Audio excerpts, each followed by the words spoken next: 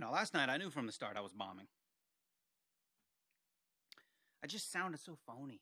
All thee and thou, and I don't know, I just couldn't connect. Just couldn't do it. So I'm out there babbling, and I look over at the second row, and there's this guy, this kid. He's like 16, obviously dragged there. And he's yawning and rustling, and I just wanted to yell over to him, Hey kid, I'm with you. I can't stand this either. But I couldn't do that. So I keep going, and I'm worse and worse and just drowning. And I answered my question I'm not Hamlet.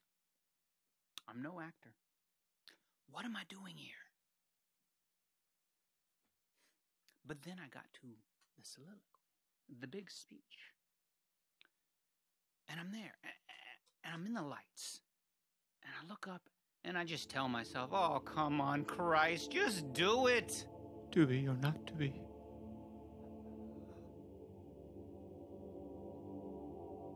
That is the question.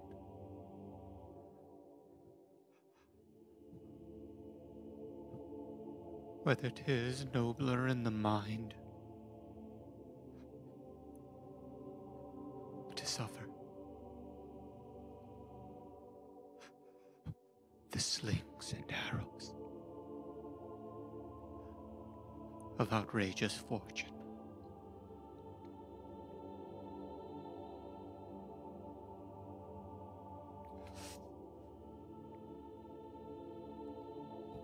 Or to take up arms against the sea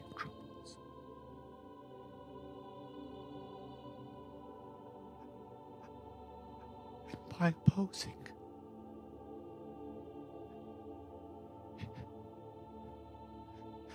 end them.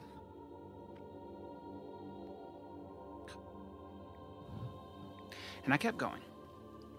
And I finished my speech. And I look over at the kid. And he's listening. The whole audience, complete silence, total focus. And I was.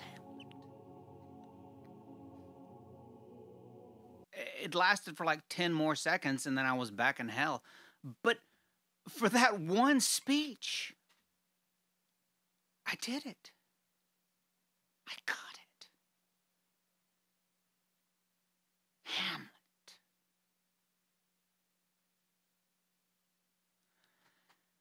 Then only 8,000 more lines to go.